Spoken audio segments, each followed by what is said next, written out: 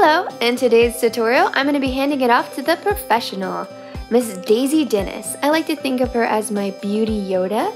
The way I've been doing my hair and makeup um, is heavily influenced by some of the cool things that she's shown me. Before we get into the tutorial, here are a few things that you will need. A NuMe curling wand, agave heat protectant oil, hairspray, comb, and a clip. Now I'm going to hand it off to Daisy to show you how it's done. Hey guys, so if you don't want to dye your hair, then extensions are perfect for you. So I'm going to go step by step. First we have seven piece extensions. I took this to a color specialist and I'm just going to separate her hair with the comb here. And we take a small portion. We're going to take the clips and unclip it.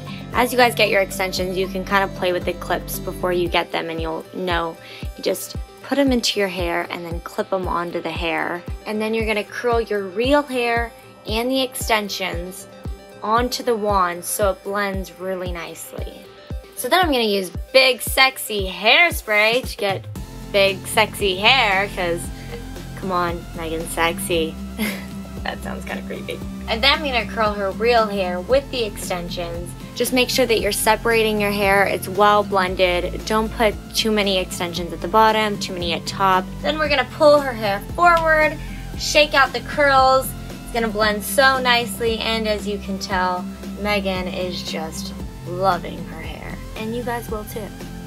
And voila, I have longer hair. Thanks Daisy. This tutorial was super fun and I hope you guys enjoyed it. Be sure to check out Daisy, her links are down below and I'll see you guys tomorrow with a brand new video.